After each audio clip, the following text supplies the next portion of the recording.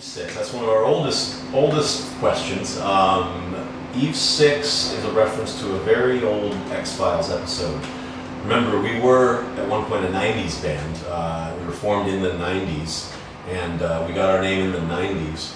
So, uh, and the X Files was kind of a '90s show. We used to watch it, and there was an episode called Eve that we were watching when we were recording the first album. We were still called Eleven at the time. And uh, it was about these 10 boys and 10 girls that were like clones, government clones. Eve number six grew up to be this really kind of crazy character in the show. And, uh, and it just sounded cool. And uh, we noticed it and said, hey, that'll be a better band name than Eve 6. I mean, than Eleventeen. And that's what we did. And I don't regret the decision.